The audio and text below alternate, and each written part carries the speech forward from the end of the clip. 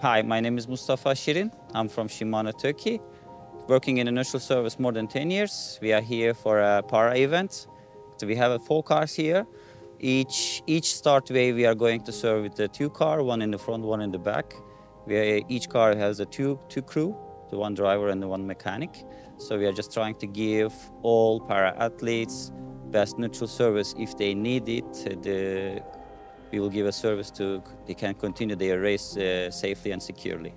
In the morning, we always preparing our cars and equipment, the tire pressures, the, the wheels positions, and the pedals positions where, where they can give. And if when they want to have a service in the race time, we just want to give the fastest way so they will not lose time. And at the same time, they can enjoy their own race.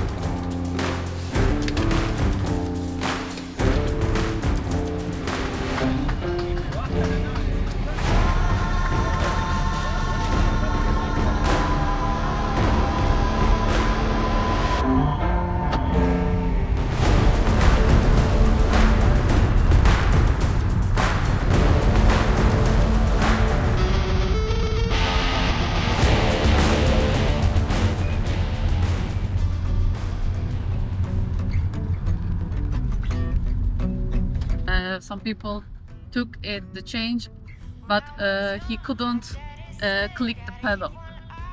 So I think it's everything's okay now. Especially in the para, there is a bit extra more difficulties because the, the riders, what they're competing, they have a different dimension of the wheels. So they have, they don't have only the 700, they have 650s, they have a 20 each wheel. So we have already in our cars those dimensions of the wheels.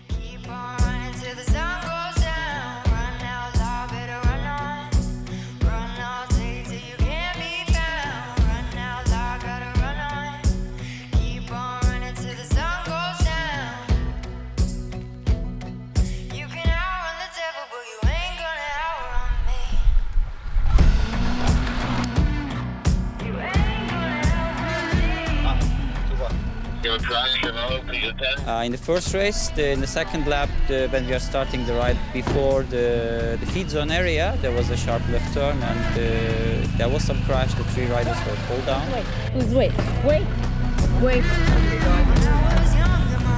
Okay, okay, right? Okay, okay, okay. Come, come, come. Come,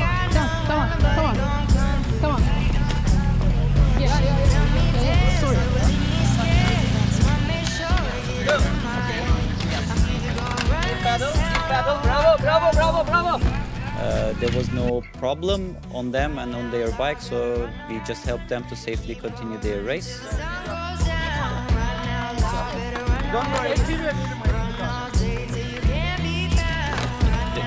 Easy, easy, okay. Okay, you got this. Bravo! You can